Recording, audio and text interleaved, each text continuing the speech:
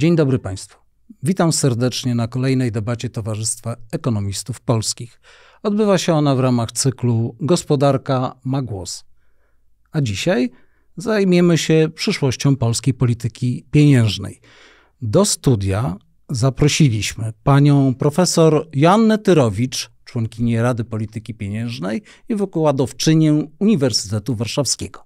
Dzień dobry, dzień dobry Państwu. I pana profesora Andrzeja Sławińskiego, który był członkiem Rady Polityki Pieniężnej w latach 2004-2010, no i jest cenionym wykładowcą Szkoły Głównej Handlowej. Dzień dobry. A ja się nazywam Krzysztof Adam Kowalczyk i jestem e, dziennikarzem Rzeczpospolitej. No to może zacznijmy od tego, gdzie jesteśmy z inflacją teraz. Rok, ponad rok temu, w lutym 2023 roku, mieliśmy ponad 18% e, rocznego wzrostu cen. Później zeszliśmy w marcu do 2%, a teraz znowu inflacja odbija do 2,4, 2,5%. Co się dzieje? E, wydaje mi się, że w tym pytaniu są naraz dwa, czy dwie kwestie w każdym razie. Pierwsza jest taka, że samego faktu, że kiedyś było 18, a teraz jest 2,5, nie wynika, że jest dobrze. No jest spektakularny spadek. Świetnie, mogło być gorzej, ale to nie znaczy, że jest dobrze. Bo kiedy byłoby dobrze? Wtedy, kiedy byśmy mieli pewność, że w okolicach tych 2,5 zostaniemy na czas długi. A 2,5 to jest cel inflacyjny Narodowego, cel inflacyjny Banku, Narodowego Polskiego. Banku Polskiego. Gdybyśmy mieli wynikającą z modelowania, no bo przyszłość możemy wiedzieć tylko za pośrednictwem modeli, pewność, że ten stan będzie trwał, to może rzeczywiście można byłoby się cieszyć z tego spadku. Natomiast po pierwsze, spora część tego spadku to są różnego rodzaju efekty o charakterze statystycznym, więc jakby jak inflacja raz już bardzo urośnie, to o ile nie wybuchnie, to zazwyczaj potem dość e, systematycznie się obniża. Nie wybuchła, super, jakby pierwsza rafa ominięta, ale jest jeszcze przed nami wiele raf i w zasadzie dzisiaj na rynku nie ma żadnego e, ośrodka analitycznego, również Narodowy Bank Polski nie ma tego rodzaju analiz, żebyśmy mieli w okolicach celu pozostać na czas długi. I w tym sensie nie ma powodów do radości, szczególnie jak ktoś siedzi na moim krzesełku, no bo z perspektywy społeczeństwa jest oczywiście znacznie lepiej. Kiedy chodzimy do sklepu, nie widzimy zasadniczych wzrostów cen. Jest oczywiście pytanie, czy psychologicznie ludzie porównują się dokładnie do 12 miesięcy wstecz, czy też porównują się do sytuacji sprzed epizodu pandemii i mają poczucie, że jest drożej. Ale już abstrahując od tego, jak działa psychologia cen, to jakby samo to, że ceny rosną wolniej, jest dobrą wiadomością dla gospodarki. Złą wiadomością dla gospodarki jest to, że nie możemy zagwarantować, że tak już zostanie. I w tym sensie, gdzie jesteśmy, jesteśmy przed bardzo trudnym czasem. Po pierwsze, w przeciwieństwie do wielu innych krajów, w tym na przykład w porównaniu do naszych południowych sąsiadów, cały czas nie zdjęliśmy jeszcze części tych instrumentów, które regulują e, wzrost cen, w szczególności cen nośników energii, tam prądu. Czyli to słynne zamrażanie cen prądu, gazu. Wcześniej mieliśmy y obniżenie VAT-u na żywność chociażby. Udało się nie, wrócić nie jest... do standardu bez jakichś perturbacji. Tak, ale no, co będzie dokładnie z cenami elektryczności, energii, jeszcze do końca nie wiadomo i jak to się przefiltruje przez resztę gospodarki, też jeszcze nie zaobserwowaliśmy. Druga niepokojąca wiadomość jest taka, że znaczna część niższych dzisiaj cen niż w jakichś poprzednich okresach wynika z zaskakującego i niezgodnego z taką intuicją ekonomiczną, dobrego dla, dla nas, ale niezgodnego z intuicją ekonomiczną, umocnienia złotego.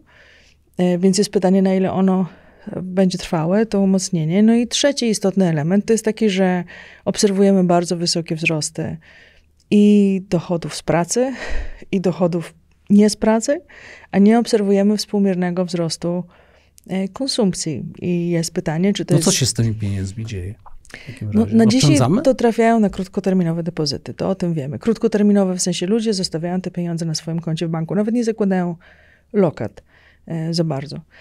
Więc e, czy oni planują te pieniądze trzymać w tym banku bardzo długo, no to dopiero zobaczymy, kiedy e, zobaczymy jeszcze trochę danych, ale w tym sensie na pewno to nie jest ten moment, w którym można odtrąbić sukces i powiedzieć jest super i, i nie ma się co martwić. Oczywiście w jakim sensie część najnowszych danych jest zaskakująca po pozytywnej stronie, więc być może to jest jakaś jaskółka nadziei, że część negatywnych prognoz się nie zmaterializuje, ale na dzisiaj jesteśmy bardzo daleko od utrzymania cen w celu w rozsądnym horyzoncie. I na to wskazują i analizy Narodowego Banku Polskiego i wszystkich innych e, analityków. Więc fajnie, że to 18 zostało daleko w tylnym lusterku, ale przed nami droga, że się tak wyrażę, wyboista. A, panie profesorze, co jest niebezpiecznego w tym, że no nie zeszliśmy do poziomu, do tego przedziału wokół y, celu Narodowego Banku Polskiego? Czy to, że jak inflacja jest powyżej celu, to różne sygnały przychodzące z rynków światowych mogą ją wybić w górę, czy też.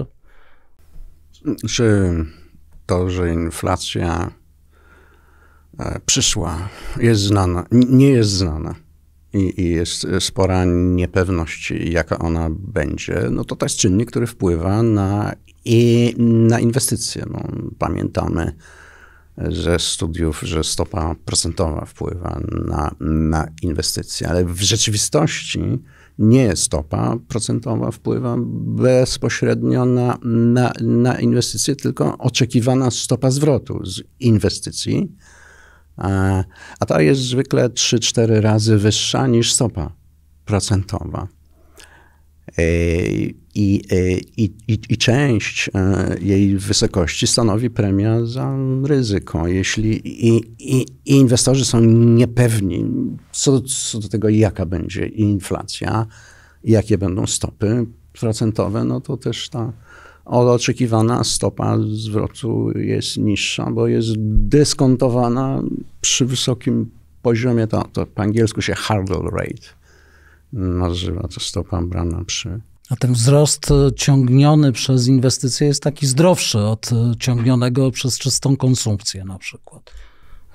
Znaczy konsumpcja Z punktu widzenia stabilności jest, cen. Nie jest niczym złym, ale, ale, oczywiście chodzi tutaj, żeby mm, kontynuował się proces realnej konwergencji w Polsce, a poziom inwestycji w sektorze prywatnym jest niski, a poziom oszczędności w Polsce też jest bardzo niski. Ale rośnie, tylko nie wiemy na ile one są. Bo pieniądze odkładane na koncie to niekoniecznie są oszczędności. To może tak? być na konsumpcję w wakacje. Może być na konsumpcję w wakacje, może być na jakiegoś rodzaju większe wydatki. Częściowo mogło pójść także na spłatę zaległości zobowiązań. Te dodatkowe dochody, które gospodarstwa domowe, polskie rodziny mają od stycznia, mogły posłużyć spłacie zobowiązań, które narosły w okresach bardzo niskich e, wzrostów płac i dochodów. Ściślej w 2022 dochody miały dynamikę realną, ujemną. W 2023 cały czas sektor publiczny E, cierpiał bardzo, bo dochody rosły dużo wolniej niż w ogóle nie rosły, tak? A inflacja była cały czas wysoka w obu tych latach, więc 22 e, i 23, więc wcale by mnie nie zdziwiło, gdyby przynajmniej część wyższych dochodów, czy wzrostu dodatkowego dochodów poszła na spłatę zaległych zobowiązań. I to też jest e, zjawisko, które już widzieliśmy, kiedy pojawiło się sobie kopię sama grupa, ale trudno. Kiedy pojawiło się 500, plus, to znaczy pojawiła się dodatkowa, dodatkowy rodzaj płynności w części polskich rodzin, tych, które miały dzieci, E, to też wszyscy, wszyscy się spodziewali wzrostu natychmiastowego konsumpcji, a z danych się okazało, że że przynajmniej część, część, rodzin zdecydowała się na spłatę zaległych zobowiązań. I ten moment e, wydatków, wzrostu wydatków przyszedł po prostu później, kiedy uregulowali swoje zależności. Tak wysoka inflacja, jaka była dla bardzo wielu polskich rodzin, nie tylko pracujących, nie tylko z rodzinami, ale także rodzin e, emeryckich, rosły koszty ogrzewania, ludzi, którzy nie mieszkają w dużych miastach i byli w całości narażeni na ponoszenie e, konsekwencji, na przykład wzrostu cen nośników energii, wzrostu cen żywności.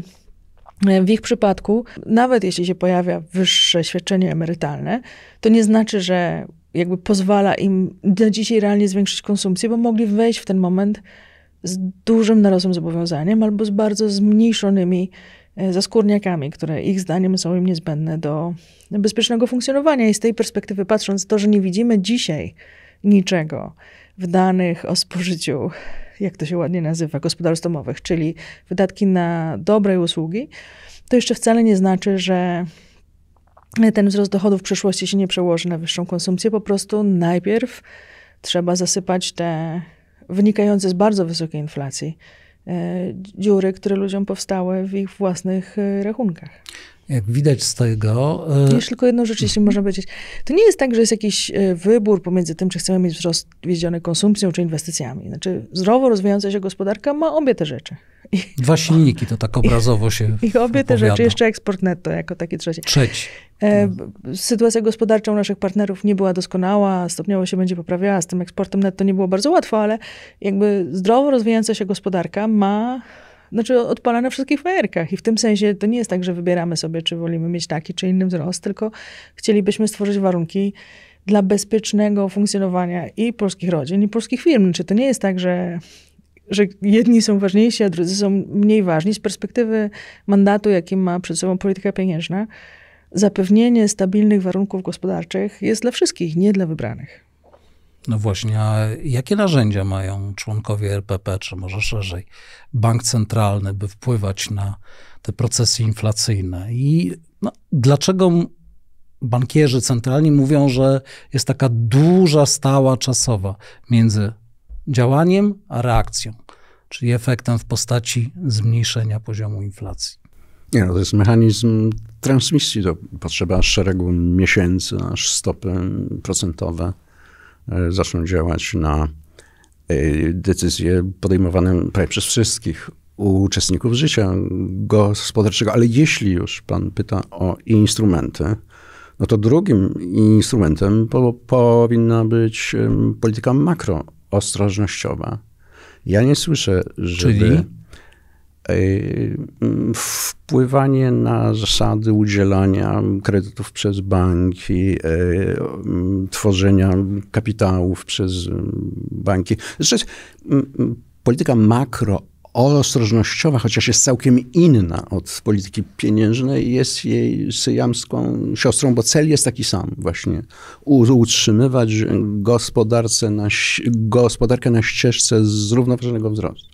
I ja nie słyszę, żeby KNF mówił o tym, jak wykorzystuje politykę makroostrożnościową, żeby to sprzyjało utrzymywaniu się równowagi w gospodarce. I nie słyszę, żeby Narodowy Bank Polski wyjaśnił, jak w Polsce używana jest polityka w jej głównym celu, żeby pomóc Polsce pieniężnej utrzymywać gospodarkę w równowadze.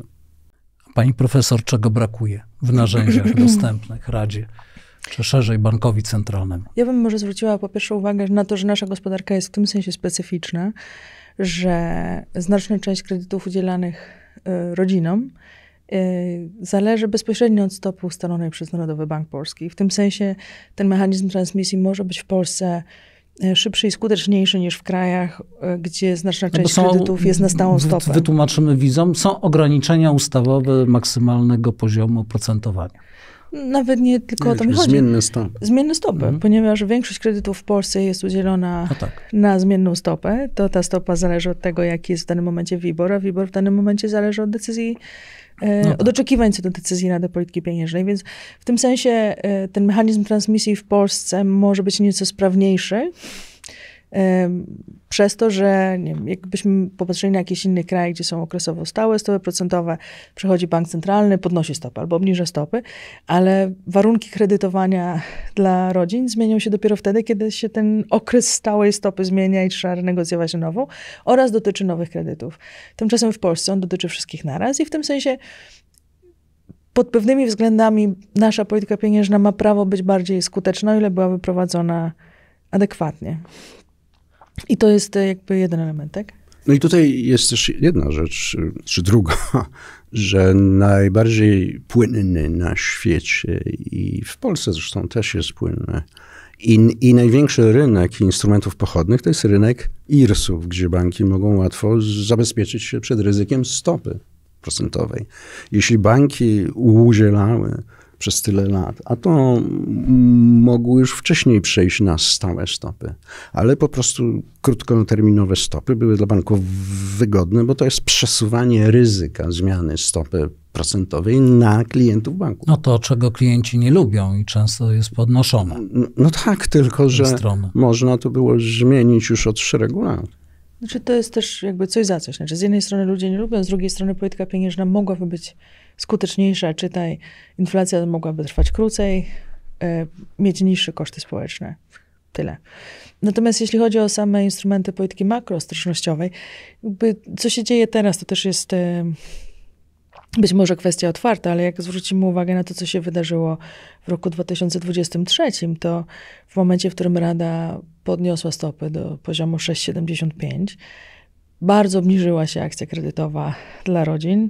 W mniejszym stopniu dotyczyło to kredytu konsumpcyjnego, w większym stopniu dotyczyło to kredytu mieszkaniowego, głównie dlatego, że wiążące było tak zwane ograniczenie bufora, czyli że trzeba mieć dochody wystarczająco wyższe, że gdyby stopy wzrosły jeszcze o ileś tam, to gospodarstwo domowe będzie w stanie taki kredyt spłacić. No i co zrobiła nasza polityka makroostrożnościowa? Od stycznia 23 zmniejszyła buforę. Czyli jak zaczęło działać, to wycofaliśmy. To się wycofaliśmy z tego i zobaczyliśmy bardzo szybki wzrost akcji kredytowej. Jeszcze zanim zostały uruchomione instrumenty rzędu, czy rodzaju bezpieczny kredyt 2% i inne tego rodzaju instrumenty wspierające, to już wcześniej był bardzo szybki wzrost y, akcji kredytowej, bo zostały A, złagodzone kryteria dotyczące buforu. Czyli to nie stopa procentowa była kryterium wiążącym. Chociaż my często wiążemy właśnie poziom inflacji i tak dalej z, tą, z właśnie z tym narzędziem. Ale właśnie o to mi chodzi tylko, że jakby kluczowa była polityka makroostrożnościowa w tym momencie, a nie polityka pieniężna. Tak? I nie skorzystaliśmy z tego instrumentarium, tylko zdecydowaliśmy się z niego celowo nie korzystać, jako kraj, nie jako Rada oczywiście. A nadzór nie jest od tego, żeby akcja kredytowa rosła szybko, tylko hmm. żeby nie rosła zbyt szybko w relacji do tempa wzrostu PKB. Bo mogą, na, może na, mogą narosnąć złe, źle jest... udzielone kredyty i to może być ryzykowne dla banków, no,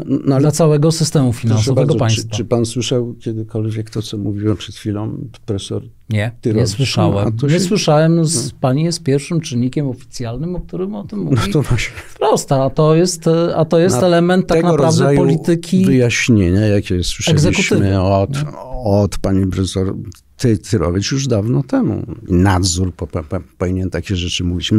Narodowy Bank. Bo obie te instytucje biorą udział w prowadzeniu co, co, polityki makroostrożnościowej. Nie, nie rozmawia z, K, z KNF-em? Czy to już nie jest do mnie pytanie. Inne, i, e, inny cel mają, że tak powiem. RPP z KNF nie może porozmawiać.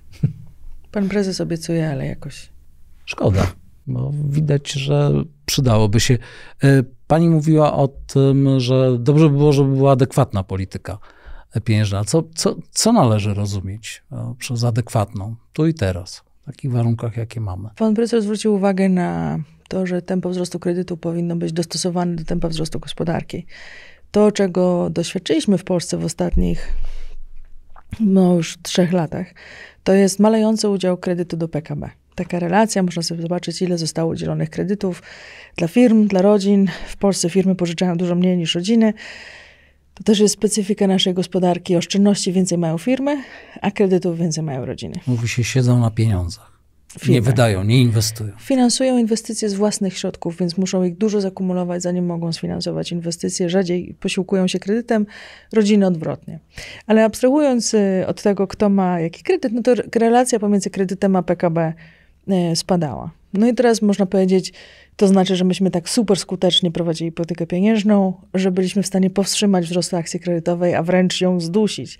Tylko, że to w ogóle nie jest właściwy opis rzeczywistości, bo właściwym opisem rzeczywistości jest to, że przy inflacji 18 stopy procentowe wynosiły 6,75, więc inflacja spłacała ludziom kredyt. Ja nie dyskutuję z tym, że dla części polskich rodzin wzrosła wysokość raty, którą oni musieli co miesiąc płacić. Zwłaszcza, że punkt wyjścia był bardzo, bardzo niski. niski. Natomiast sama wartość kredytu wyrażona w dzisiejszych złotych, a PKB wyznaczamy zazwyczaj w dzisiejszych złotych, sama wartość kredytu wyrażona w dzisiejszych złotych, no bardzo spadła, bo wartość tego dzisiejszego złotego spadła. Ktoś, kto miał 400 tysięcy kredytu 3 lata temu, a ktoś, kto ma 400 tysięcy kredytu dzisiaj, mimo że tam niedużo z niego faktycznie fizycznie spłacił, ma w realnych kategoriach 40% kredytu mniej do spłacenia. I to był pierwszy element. Drugi element był taki, że gospodarstwa domowe w Polsce, polskie rodziny, często miały kredyt, chociaż go nie potrzebowały.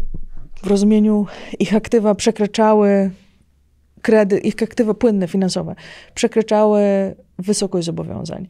Ludzie zobaczyli, że stopy procentowe rosną, stwierdzili, że to nie bardzo jest sens płacić te wyższe stopy procentowe, w związku z tym e, wykorzystali te swoje zgromadzone aktywa na spłacenie kredytu do końca przed terminem. I to było widać głównie w roku, pod koniec roku 22 i przez, czy w drugiej połowie 22 i przez pierwszą połowę 23. To miało bardzo duży, istotny wpływ na wysokość kredytu. Trzecią, e, trzecim gwoździem do, do tej trumny było oczywiście e, porozumienia pomiędzy bankami a e, kredytobiorcami z kredytami walutowymi, ponieważ one nie były przewalutowywane po kursie bieżącym, tylko po kursie, najczęściej po kursie wzięcia tego kredytu, więc jak ktoś wziął 100 tysięcy franków i kiedyś miał 400 kilkadziesiąt tysięcy kredytu, to jak go brał po dwa, to dzisiaj ma tylko 200 tysięcy kredytu i tylko tyle widać w aktywach banków. Więc mamy trzy mechanizmy, które spowodowały spadek relacji PKB, kredytu do PKB i nie, żaden z nich nie jest związany z tym, że prowadziliśmy skuteczną politykę pieniężną. Ale można się pochwalić. A pierwszy wręcz znaczy, że prowadziliśmy nieskuteczną politykę pieniężną, skoro to inflacja spłacała ludzkie kredyty, a nie, czy tym firm kredyty, a nie faktyczne spłaty tego kredytu. Znaczy stopy procentowe były dalece niewystarczające do zabezpieczenia realnej wartości zobowiązań, które żeśmy wszyscy na siebie wzięli jako kredytobiorcy. Więc z tej perspektywy patrząc, no trudno ocenić, że ona była e, adekwatna. Dzisiaj sytuacja się na szczęście z tej perspektywy patrząc odmieniła. Stopy procentowe w rozumieniu realnym są dodatnie, więc nasze zobowiązania e, nie spadają z powodu inflacji szybciej niż my jesteśmy w stanie je spłacać. E, no ale to dopiero dzisiaj, czyli prawie trzy lata po epizodzie inflacji, bo epizod inflacji się zaczął jesienią, znaczy był już bardzo zaawansowana inflacja jesienią 2021 roku. Tak. A inne narzędzia, jakich może używać bank centralny, chociażby operacje otwartego rynku, skup, e, czyli skup e, papierów wartościowych albo skarbowych, e, albo... Rozumiem, pan redaktor tak, tak. mówi o, o, o QE, bo... Tak, tak, tak, o, dokładnie, bo tamto to jest... Operacje otwartego rynku do, to, to jest, tak. do krótkoterminowe, stąd taka... Mm, operacje otwartego rynku... To operacje strukturalne, tak? my tak mówimy między sobą, to może nie bardzo czytelnie. Operacje otwartego rynku to jest ten sposób, w jaki bank centralny osiąga, żeby rynek miał testowe procentową, co Rada uradzi. Znaczy Rada się spotyka i mówi 5,75. I to samo z siebie się nie wydarzy. Jedyny sposób, w jaki to się może wydarzyć, to za pomocą czegoś, co się nazywa operacja otwartego rynku. Jest opisane w ustawie. Narodowy Bank Polski w relacjach z e, bankami i innymi instytucjami finansowymi reguluje bieżący koszt trzymania pieniędzy w NBP, co stanowi jakiś punkt odniesienia dla innych rodzajów transakcji finansowych. A podręcznikowo mówiąc, bank centralny jest w stanie to zrobić, ponieważ ma monopol na kreację płynnych rezerw w związku z czym może dostosować popyt i podać i mieć stopę tam, gdzie chce. Natomiast pan redaktor pyta o, mm, o, y, y, o QE, tak? o quantitative easing, no to to jest instrument, y, którego należy używać w trakcie kryzysu. I, i to jeśli nawet, Użyliśmy. jeśli jest taka potrzeba. Myśmy go nie użyli, jak byłem w Radzie. Byli, byliśmy jednym z wyjątków. Przypomnijmy, to Rada 2004-2010. Tak, w trakcie globalnego kryzysu finansowego myśmy uznali, że nie ma e, potrzeby użycia i potem, jak na konferencjach mnie pytali, Andrzej, jaka u was jest exit strategy, to mówiłem, że żadnej nie ma, bo nie użyliśmy QE.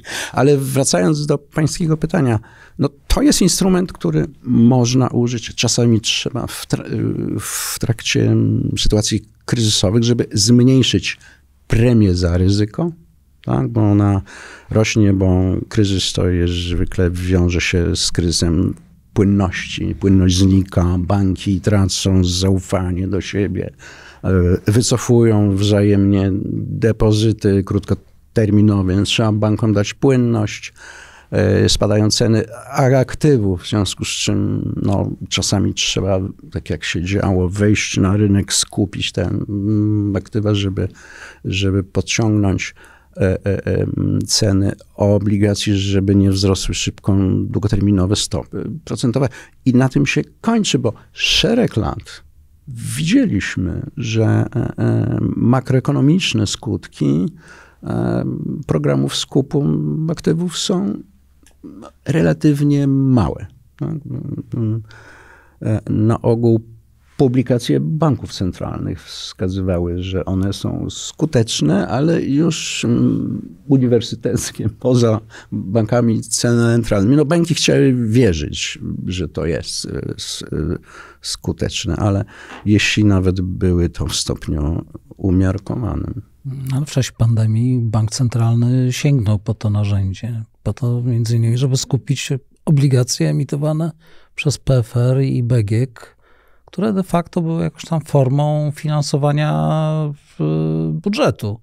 Znaczy, dookoła. De tak- facto, tak, bo pan mówi no. jakąś formą, nie, de facto, bo to są dwie instytucje finansowe, które bezpośrednio finansują wydatki rządu. Więc no i ich obligacje z... mają gwarancję Skarbu Państwa. No tak jakby Skarbowi Państwa. Zakup obligacji PFR i BGQ to no to było finansowanie rządu mhm. de facto. Tak? Znaczy tego nie, naduży, nie, do, nie nadużył bank centralny, czy chciałem powiedzieć nie nadużyliśmy, ale nasz wpływ był na to mm, niewielki. Ale... Mnie bardziej martwi to co, się, y, to, co się działo wcześniej, że te dwie instytucje dokonywały wydatków budżetowych de facto poza kontrolą Sejmu na dużą skalę no to było bardzo niedemokratyczne w ogóle rozwiązanie. To jest coś mm, bardzo nagannego. A czy Rada Polityki Pieniężnej na to miała wpływ, ma wpływ? No. Bo ja mam wrażenie, że kierownictwo Narodowego Banku Polskiego się przyzwyczaiło do tego. Padło nawet hasło finansowania e, wydatków zbrojeniowych właśnie poprzez taki mechanizm. E, ja może zacznę od początku. Te operacje, o których mówimy, że one są specjalne, one w polskim prawie są bardzo niewystarczający sposób uregulowane. W ustawie jest napisane, że mogą być operacje otwartego rynku. Nie jest napisane, że mogą być specjalne operacje otwartego rynku. A o samych operacjach otwartego rynku jest napisane, jakiemu celowi mają służyć. I mają służyć podstawowemu celowi polityki pieniężnej, a nie tym innym celom polityki pieniężnej. To jest jakby pierwszy czynnik. Drugi czynnik związany jest... celowi, czyli przypomnijmy, sprowadzeniu inflacji Trzymanie inflacji w celu, tak jest. Zapewnieniu stabilności cen. E, drugi czynnik, który tutaj ma znaczenie, to jest to, że kiedy mówimy o tych specjalnych operacjach, to e, powinny one wynikać z, tak jak powiedział pan profesor, problemów z płynnością w sektorze bankowym. Tymczasem nasz sektor bankowy ma tak zwaną strukturalną nadpłynność, to znaczy Czyli ma każdy dużo bank ma więcej z którymi nie bardzo ma co zrobić. Ale to nawet, nawet nie tylko tyle. Każdy bank ma więcej pieniędzy, niż może z nimi coś zrobić. Nie, że pomiędzy, że są takie banki, które mają, takie banki, które nie mają, no i jak się pojawia kryzys, to te banki, które nie mają, nie mają od kogo pożyczyć i wtedy musi przyjść państwo w postaci banku centralnego i jakoś dostarczyć płynności, ustabilizować ten rynek. Jeśli chodzi o instytucje finansowe w Polsce, to one jak jeden mąż są w sytuacji strukturalnej nadpłynności. Wynika to z wielu czynników i nie zmieniło się w pandemii. Więc e, uzasadnieniem, dla, czy uzasadnienie dla tego rodzaju interwencji no nie wynikało z delegacji ustawowej zapewnienia płynności w sektorze bankowym. E, to jakby drugi czynnik. Trzeci czynnik to jest, e, jakiego rodzaju aktywa zostały zakupione i e, z jaką charakterystyką. Oczywiście dużą uwagę zwracają środki przekazane na PFR i na, czy tam na wykup emisji PFR i BGK. Zwrócę uwagę, że to nie jest tak samo, jakby finansować rząd z innego prostego powodu. Emisje PFR i BGK są nieco droższe niż emisje rządu.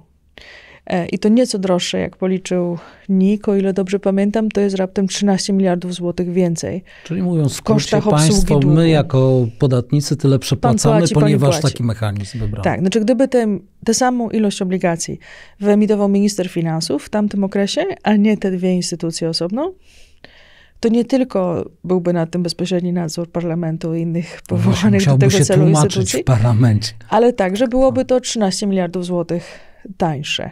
Każdy może sobie wybrać e, dowolny przykład, co za te 13 miliardów polskich no 13 państwa. miliardów, to ile dobrze pamiętam, to kiedyś e, mniej pieniędzy kosztowała trzynastka wprowadzana emeryt, na emerytów. 6 lat budżetu to największej. wielkie pieniądze. 6 lat budżetu największej polskiej instytucji akademickiej. No, do, dowolne można znaleźć punkty odniesienia. To nie są orzeszki, tak byśmy to nazwali. Natomiast nawet e, gdyby e, przyjąć, że te instrumenty i tak dalej, no to one jednak stanowiły mniejszość aktywów zakupionych przez Narodowy Bank Polski, około 30%. E, większość aktywów stanowiły zupełnie zwykłe obligacje rządowe, objęte przez NBP. Wiele z nich z bardzo krótką zapadalnością, za rok, za dwa, za trzy, więc ani one nie miały wpływu na płynność, ani nie miały wpływu na jak to się ładnie technicznie nazywa, długi koniec krzywej, czyli jak będą się kształtowały stopy procentowe w długim okresie, no ani nie miały wpływu na, powiedzmy sobie to wprost, bieżące działania z walki z pandemią, no bo jak się wrzuca pieniądze do jednego worka, który się nazywa budżet państwa, to one mogą być wydane na wszystko z tego budżetu państwa, bo w Polsce obowiązuje zasada niefunduszowania, czyli o ile coś nie jest ustawą zadekretowane, że jest osobno, na przykład składka zdrowotna, no to stanowi jeden duży worek. I czy to będzie droga lokalna, czy dodatkowe wynagrodzenie dla lekarzy, to już y, w żaden sposób nie było na etapie obejmowania tych obligacji y, zdeterminowane. Ale jeszcze jest taka rzecz, że mm, mm, wszyscy zakładają, że jak bank centralny skupuje o, obligacje na rynku pierwotnym, to jest ryzyko, no, że finansuje rząd, a jak na rynku wtórnym, to, e, to jeszcze y, y, nie ma się czego bać. No ale spójrzmy na tę y, sytuację, że jeżeli Narodowy Bank kupuje od banków obligacje skarbowe, tak? E, na rynku wtórnym to czym im, to czym im płaci? Płynnymi rezerwami. Tak? No i teraz e, banki m, mm, przychodzą na, e, na, na, na przetarg rządu i kupują obligacje skarbowe na rynku pierwotnym, tak? Na czym płacą? Tymi płynnymi rezerwami, które dostały od banku centralnego jak, jak bank centralny kupił od nich obligacje na rynku wtórnym.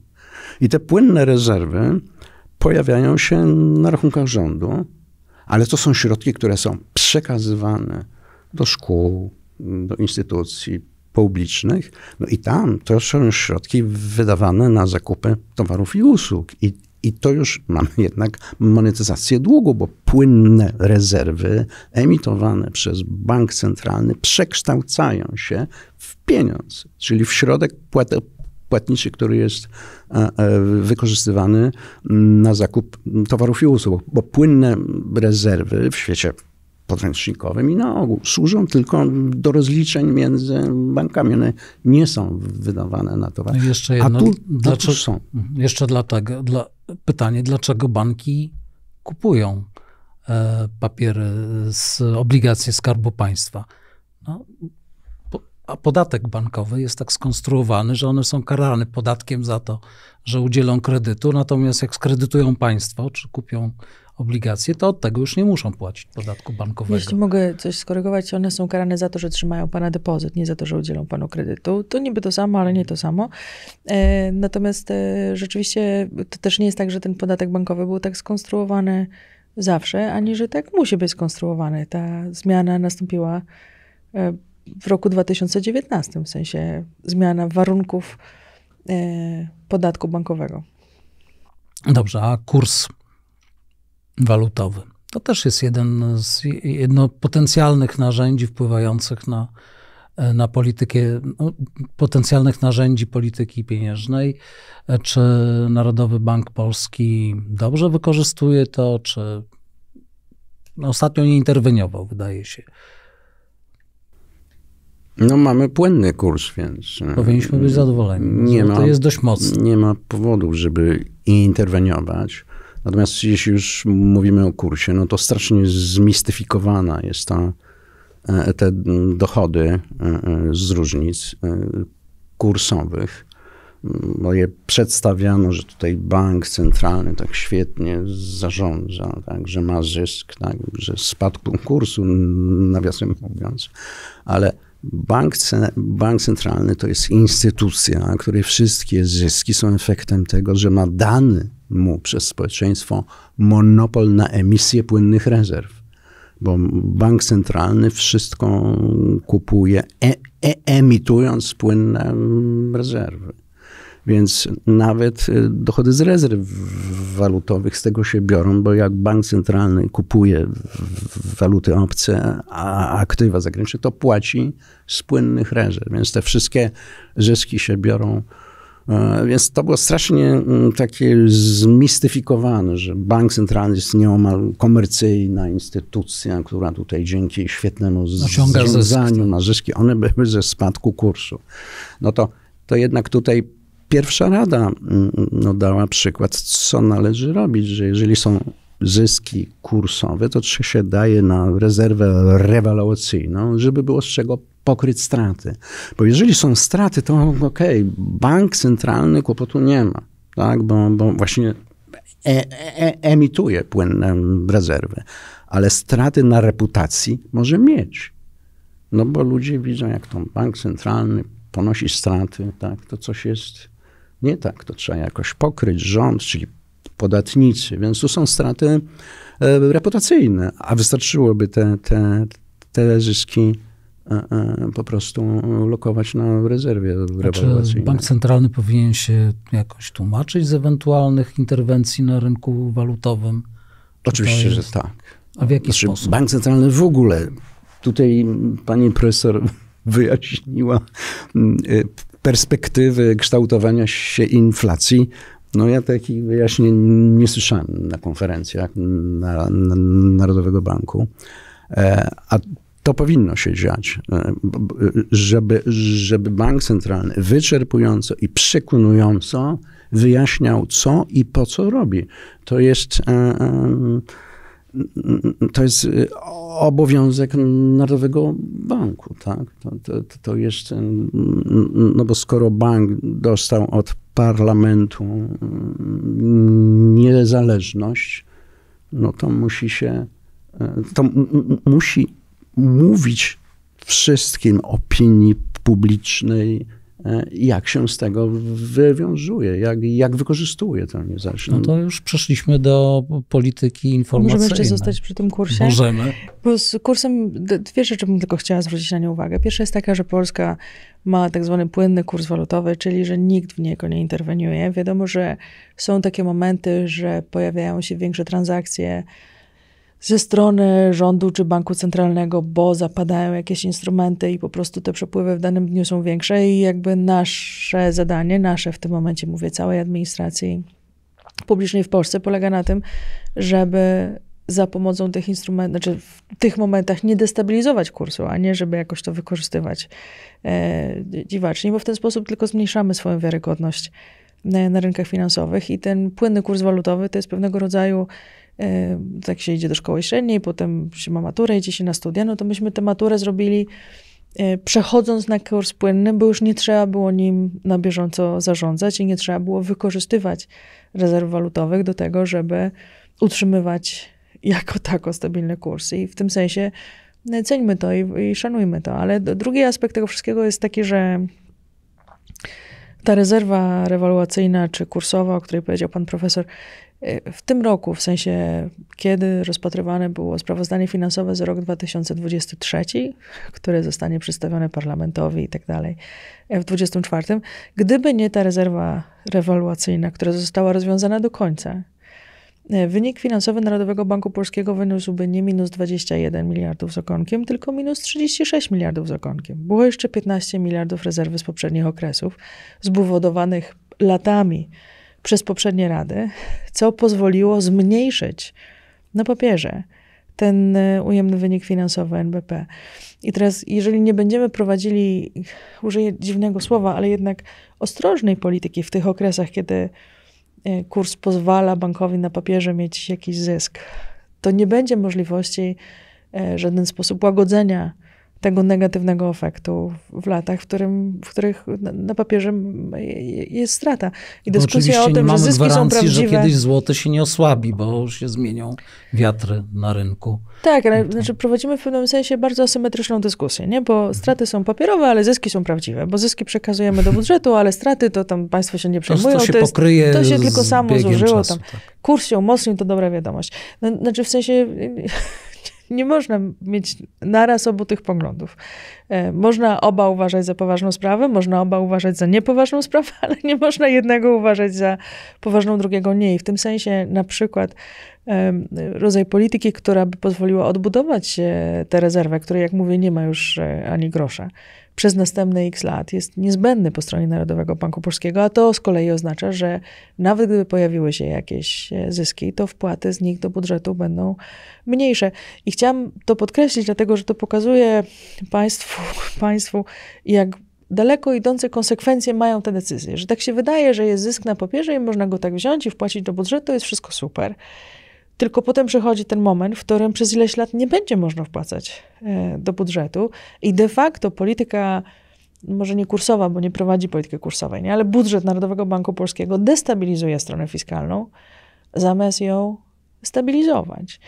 E, niecelowo mogę przyjąć, ale nieodpowiedzialnie jednak, bo no było wiadomo, że 4,70 nie zostanie na zawsze i że kiedyś złoty się umocni i że w związku z tym zmaterializują się straty na, na bilansie Narodowego Banku Polskiego. I w tym sensie no, no trudno pochwalać e, tamte decyzje, a, a nie. Znaczy... No to, to, to jest jeszcze jeden właśnie wykład, który opinii publicznej by się należał, żeby ludzie rozumieli, jaki jest rzeczywisty mechanizm, skutki i, i konsekwencje tego. No, no, no, natomiast y, y, pan tutaj bardzo dobrą rzecz powiedział, że nie, nie mamy gwarancji, że się złoty będzie osłabiał. Zwłaszcza z tego punktu widzenia, znaczy w długim okresie, że jesteśmy gospodarką, która przychodzi okres realnej konwergencji.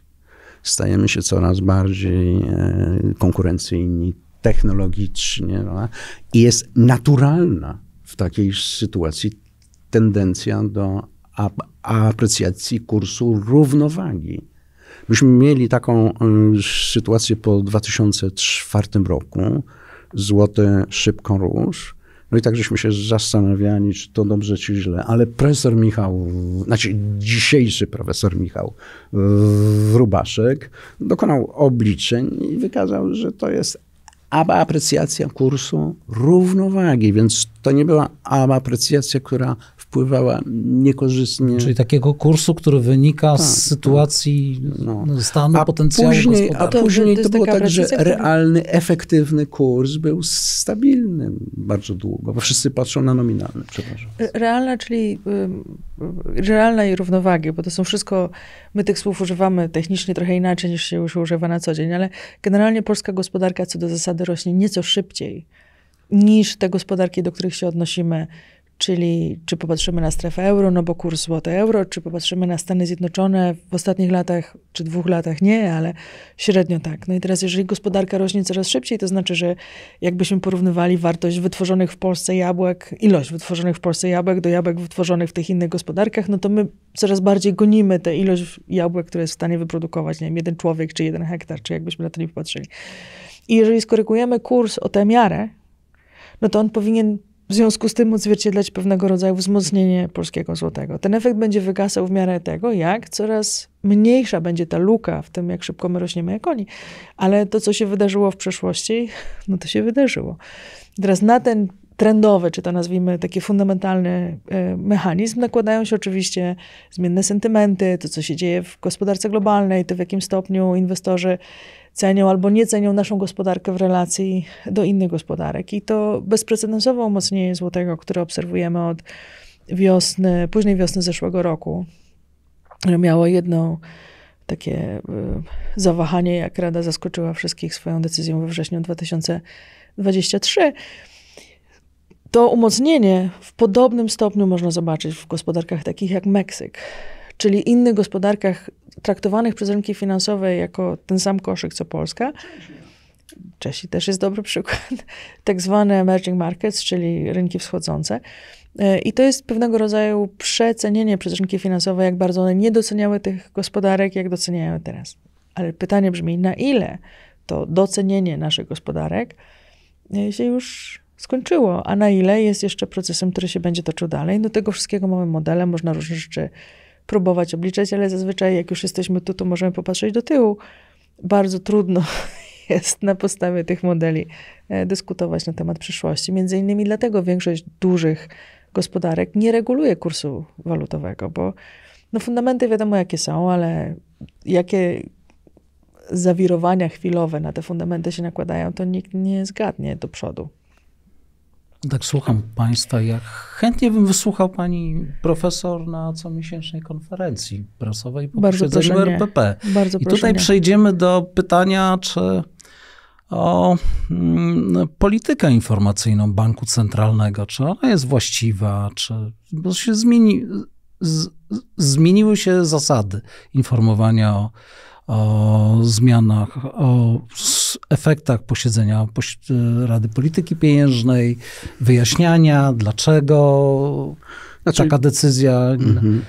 To Znaczy, ja powiem tak, że y, y, to takie ogólne przekonanie, że polityka informacyjna jest taka ważna. Mm, Oczywiście, że bank centralny jest instytucją, która publikuje wiarygodne y, prognozy.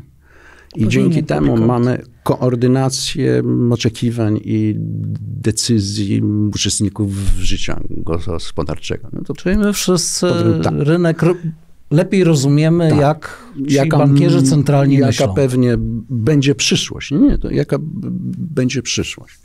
Bo, bo bank centralny zwykle ma największy departament analityczny ze wszystkich No, instytucji. Pan profesor kierował kiedyś z sektora publicznego.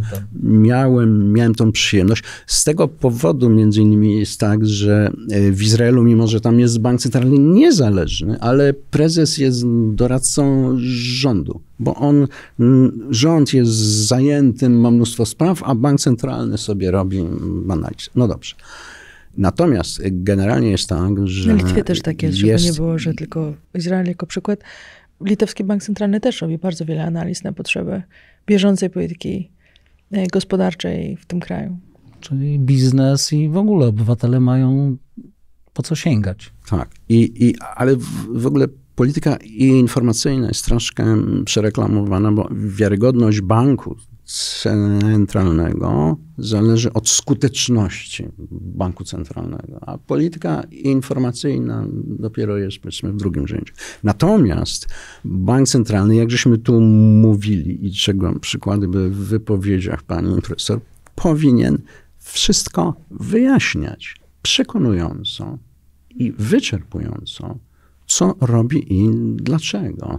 To, to, to byłby właśnie też y, dobry wkład y, y, dla uczestników życia gospodarczego, bo dowiadywaliby się, no, w, jaki może być przyszły bieg zdarzeń. To to jest, mm, bo my myślimy ciągle o stopy procentowe, kursy banki, ale to, jaki będzie przyszły bieg zdarzeń, jak się ukształtuje koniunktura, jest ważne dla przedsiębiorstw. Prawda? No to zmniejsza ryzyko. To A przedsiębiorstw pańskie przede wszystkim- pytanie dość retoryczne było. Ale też Rozumiem. w tym sensie pozwolę sobie nie zgodzić się z profesorem, że komunikacja banku centralnego to jest najtańsza rzecz, jaką on może robić dobrze. Bo wymaga tylko jednej rzeczy, żeby ten człowiek, który za to odpowiada, wyszedł i zrobił swoją robotę. Ta robota nie zawsze jest bardzo prosta, ale to jest naprawdę najtańsza rzecz, jaką można mieć. Te wszystkie inne instrumenty, o których dzisiaj rozmawialiśmy, stopy procent, to wszystko kosztuje. Kosztuje nie tylko w tym sensie, że e, ktoś musi te wszystkie prace analityczne z tyłu wykonać, ktoś musi to zaimplementować i tak dalej, ale także w tym sensie, że jak Narodowy Bank Polski utrzymuje wysokie stopy procentowe, to znaczy, że ma bardzo negatywny to wpływ na jego wynik finansowy i nie może na przykład przekazywać zysków swoje, ze swojego monopolu do budżetu. Jeżeli bank musi podejmować interwencje płynnościowe, to to też kosztuje, bo te pieniądze nie biorą się znikąd. I jasne, że może wyimitować ile chce, ale to potem generuje konsekwencje dla gospodarki.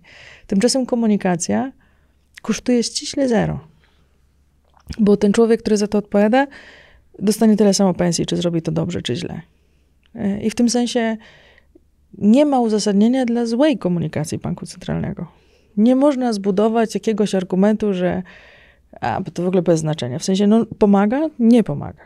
I w tym sensie jest to bardzo ważny instrument, bo tak jak możemy powiedzieć o interwencjach słownych, że one mają moc, a nic nie kosztują, tak samo jest z komunikacją banku centralnego co do bieżących podejmowanych decyzji momentu analitycznego. Więc um, o ile można przejąć, że to nie jest najważniejszy instrument w danym momencie, to jest to najtańszy instrument e, w danym momencie. I też jak popatrzymy na przykład na to, co się dzieje w innych gospodarkach, w tej chwili Stany Zjednoczone ostatnie 11-12 miesięcy to jest bardzo dobry przykład. Nie zmieniają się stopy procentowe. Przesadziłam z 11 miesiącami, ale już od jakiegoś czasu nie zmieniają się stopy procentowe. Nie zmienia się też polityka w rozumieniu wychodzenia z quantitative easing ichniejszego, czyli quantitative tightening.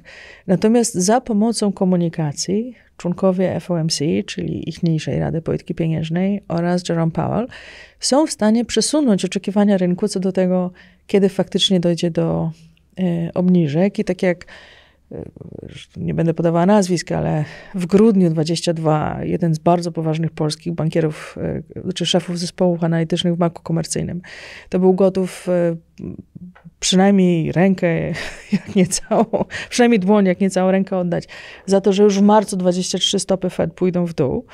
Tak teraz wiemy, że nie poszły w dół ani w marcu 24, ani no, nie pójdą w dół w żadnym krótkim horyzoncie. Tak? I teraz nie zmieniły się te obiektywne czynniki, udało się przekonać, przesunąć oczekiwania rynkowe bardzo daleko do przodu. Dlaczego to ma znaczenie? Dlatego, że dzięki temu można fizycznie krócej utrzymywać wysokie stopy procentowe, fizycznie krócej obciążać rodziny wyższymi ratami, fizycznie krócej obciążać e, firmy wysokimi ratami, więc za pomocą tej skutecznej polityki pieniężnej można osiągnąć rezultaty szybciej i w związku z tym obniżyć wtedy szybciej stopy i mniej przynosić koszty prowadzenia polityki pieniężnej na wszystkie inne e, zaangażowane strony. Nie ma tutaj e, znaczy, ja nie jestem w stanie znaleźć innej argumentacji. I jeszcze jeden tylko przykład podam.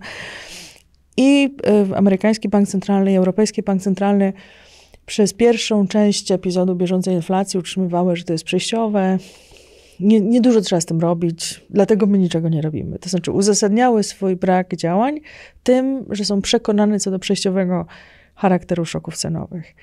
Oczekiwania inflacyjne i w strefie euro, i w Stanach Zjednoczonych poszybowały w górę. I jeden i drugi bank były bardzo zaangażowane w skup aktywów, więc nie mogły od razu zacząć podnosić stóp procentowych, nawet kiedy już podjęły decyzję, że będą chciały zacieśniać politykę pieniężną.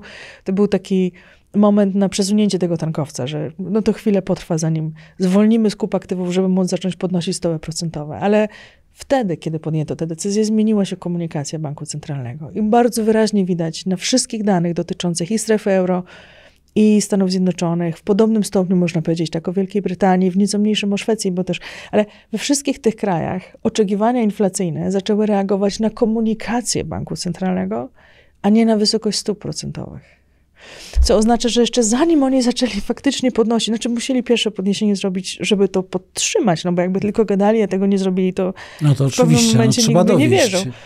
Ale zapowiedź. jakby jesteśmy w stanie za pomocą polityki pieniężnej skoordynować kupujących, sprzedających, inwestujących, realizujących te inwestycje, wszystkich tych, którzy uczestniczą w, obra- w, obrocie gospodarczym, jeszcze zanim faktycznie nałożymy na nich wyższe stopy procentowe, dzięki czemu one są wyższe krócej, szybciej można je obniżyć i tak dalej. I to oczywiście jest dyskusja kontrfaktyczna, to znaczy nie mam drugiego świata, w którym Fed by tylko podniósł stopę, a nie zmienił komunikacji nie mam drugiego świata, w którym komunikację Fed prowadziłby Adam Glapiński i żeby zobaczyć, na ile skutecznie obniża się inflacja przy wysokich stopach, ale takiej komunikacji, jak mamy w Polsce, no nie mogę przyjść i pokazać twardego, empirycznego dowodu dla tej tezy, którą przedstawiam. No ale teraz wrócę do swojego pierwszego stwierdzenia. Skoro to kosztuje nic, to dlaczego nie zrobić tego dobrze? Znaczy mamy pierwszy duży, ważny postulat dotyczący polityki informacyjnej, komunikacyjnej. Co należałoby jeszcze zmienić e, w funkcjonowaniu Narodowego Banku Polskiego? W strukturze może? Może RPP w obecnym kształcie nie jest e, tak potrzebna? Skoro... No, jeżeli... No tyle lat się sprawdzała, ale ostatnio... E, jak Francja weszła do strefy euro, to przez jakiś czas była Rada Polityki Pieniężnej głównie się zajmowali właśnie wyjaśnianiem polityki pieniężnej Europejskiego Banku Centralnego. Więc y, z tego punktu widzenia to są rzeczy ważne, więc y, znaczy, no, po to stworzono rady, żeby decydowały o polityce pieniężnej ciała kolegialne, po to, żeby była dyskusja, żeby większością głosów decydowano.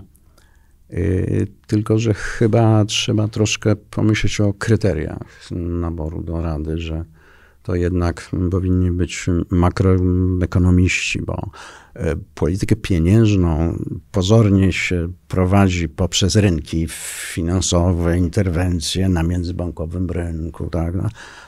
ale decyzje to są par excellence makroekonomiczne.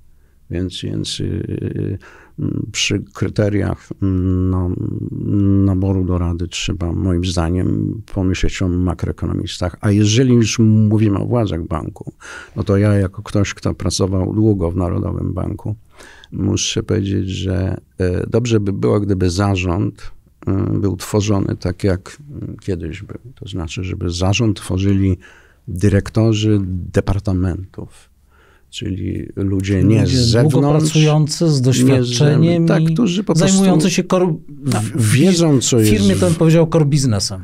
No, no, znaczy w innych bankach centralnych po prostu tak jest, więc czegoś to się bierze. Znaczy to możemy za, zapisać w prawie? Da się to zrobić, czy po prostu trzeba... Jeśli przyjmiemy, no że bank centralny jest to niezależny, to nie powinniśmy. ustawy trzeba zmieniać. Jeśli przyjmiemy, że bank centralny jest niezależny, to Pewnie nie powinniśmy. E, A jest niezależny Bardziej dyskusja o normie, którą... Bardziej jest to dyskusja o normie, którą się stosuje w banku, niż e, o, wydaje mi się, zewnętrznych przepisach, chociaż pewnie można szukać tutaj kompromisu. E, ja jestem niezależna i tego się trzymam. Jeśli chodzi o innych, no to każdy musi zdecydować o własnym serduszku, jak wyważa rację. Natomiast na jedną rzecz bym zwróciła uwagę z tego, co powiedział pan profesor, że jak popatrzymy sobie na instrumentarium, które otacza polską politykę pieniężną, to i byśmy tak wzięli z jakiegoś podręcznika, jak zapewnić niezależność banku centralnego na poziomie ustawowym, to moim zdaniem my chyba wszystkie boksy mamy tik, tik, tik, tik, tik, tak jest zrobione. No bo co się robi? Robi się brak kadencyjności po to, żeby nie zabiegać. Jest tajność posiedzeń po to, żeby nie ujawniać. Jest, czyli że członek nie może być dwa razy członkiem rady to nie musi zabiegać o to, żeby go lubili, dlatego głosował tak, żeby go lubili. Ci, co wybierają. Wybierają różne organy, trzy, trzech członków prezydent, trzech członków Wyższa Izba, trzech członków Niższa Izba.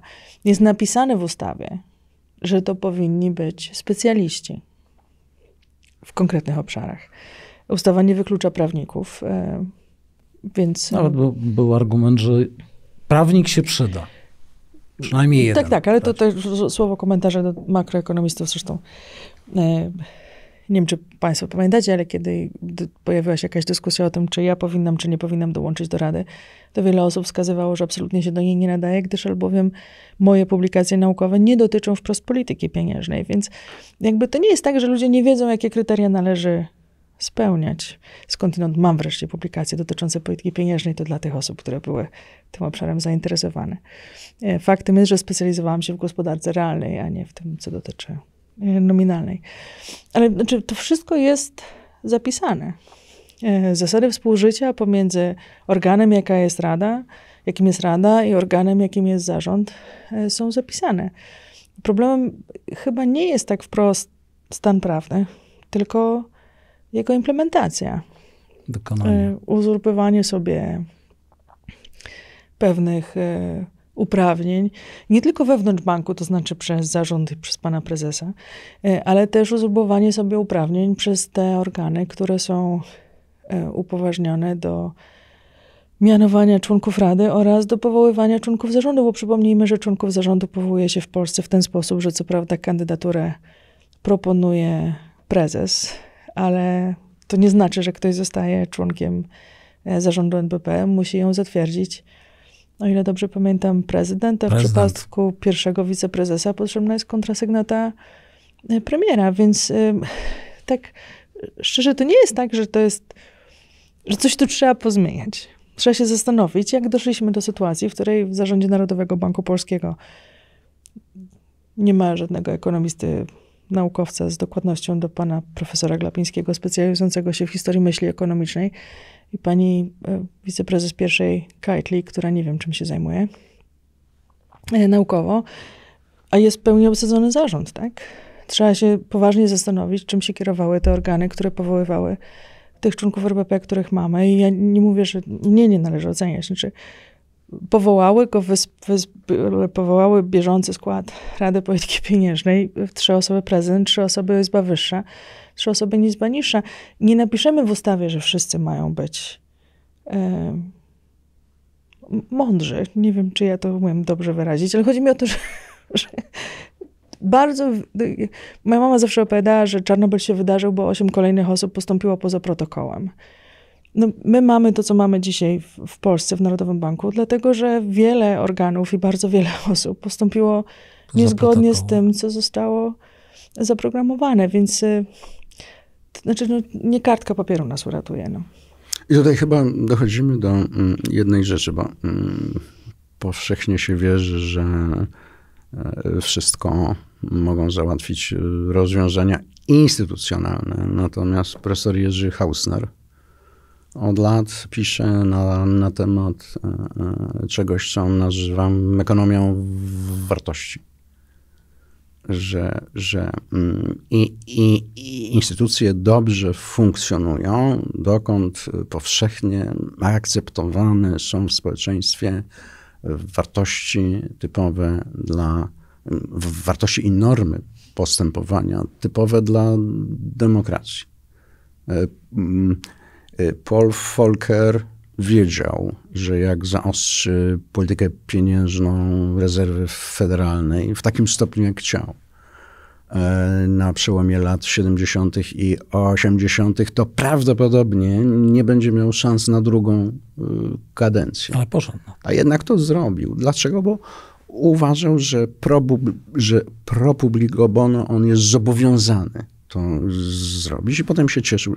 Nie dość tego, prezydent Carter, który go mianował, zdawał sobie sprawę, że jak e, mm, Paul Volcker zaostrzy silnie politykę pieniężną, jeżeli to spowoduje recesję, to demokraci mogą mieć mniej głosów. O że on też nie zostanie wybrany na prezydenta, ale uważał, że to jest jego obowiązek w stosunku do Amerykanów, żeby po wielu latach wysokiej i zmiennej inflacji Amerykanie mogli znowu wierzyć, że mają w kraju bank, który skutecznie będzie stabilizował inflację, bo się mówi, że, że to kryzys naftowy, ale to była prawie dekada wysokiej i zmiennej inflacji w I wielu recesji na skutek tej wysokiej i zmiennej inflacji. No tak, w sensie nie na skutek patrzymy pieniężnej. na lata 70. i 80. i się zastanawiamy, jakie wnioski z tego mm. możemy wyciągnąć. No może w ten sposób zakończymy tę debatę. Może Piękny jeszcze ostatnie słowo. Janet Yellen, bo jest dokładnie taka historia, jak opowiedział pan prezes, pan profesor, tylko w odniesieniu do bardziej współczesnych czasów. Znaczy, w podobnie niezależny, ale kierując się dobrym publicznym sposób, postępowała na stanowisku prezeski Fed e, Janet Yellen ledwie parę lat temu. Też wiedziała, że administracja Trumpa nie da jej szansy na następną kadencję, a nie wpłynęło to w żaden sposób na jej sposób decydowania, znaczy nie wpłynęło to tak, na jej no, sposób decydowania. E, podobnie jak popatrzymy na, na Powella, który przyszedł, jakby to powiedzieć, wszedł w środowisko central bankierów niekoniecznie witających go z otwartymi rękami ze względu, z uwagi na proweniencję, nie? I jakby przez wiele kolejnych posiedzeń, a także konferencji prasowych wykazał, że nie jest niewłaściwą osobą e, na tym miejscu, bo przejął się tym, co jest ważne, czyli nie ten czy inny prezydent, ta czy inna partia, ten czy inne wybory. Kiedy on mówi, że nie zwracamy jako FOMC uwagi na terminy wyborów, to mówi to w taki sposób, że ludzie w to wierzą. Janet Yellen też e, przeforsowała bardzo niepopularną w Stanach Zjednoczonych e, decyzję, żeby emitować ponownie dużą ilość SDR-ów I no, bo była to forma istotnej pom pomocy po epidemii e, COVID dla krajów mm, rozwijających się. No to już jak była w rządzie, nie jak w Fedzie. Słucham? To już jak była w rządzie, nie w Fedzie. No, no tak, ale, ale to było to samo, prawda, że zrobiła coś, co było ważne dla ogółu. I to jeszcze mm, rozumianego jako gospodarka globalna. I tą refleksją, że bankierzy centralni powinni działać tak, żeby to było ważne dla ogółu, ale w sensie pozytywnym zakończymy tę debatę. Dziękuję Państwu bardzo. E, w naszej debacie udział wzięli pani Joanna Tyrowicz. Dziękuję bardzo. I pan e, Andrzej Sławiński. Dziękuję za uwagę. To była debata Towarzystwa Ekonomistów Polskich z cyklu Gospodarka ma głos. Ja się nazywam Krzysztof Adam Kowalczyk. Dziękuję i do widzenia.